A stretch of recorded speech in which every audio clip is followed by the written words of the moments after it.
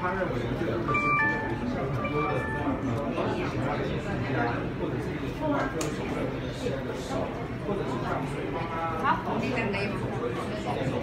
甚至是呢很多的在进行保护的区域，它是双手。我们代理的作品很多，不只是这一次最重要的就是我们这一个雷神大师，所以今年的有一些新的创作在这边，哦都是他非常重要的。我刚刚介绍的就是这一件情欲用品。对。